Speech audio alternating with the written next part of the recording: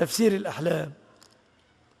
وإن لم تكن انتشرت في بلادنا الانتشار الكافي لكن على الفضائيات منتشرة انتشارا غريبا ويفسر بالذي يأتي يمين يأتي شمال يأتي. فهذه الأشياء الثلاث نحذر منها. أصولها ثوابت لكن توابعها هي الشر. والله أعلم.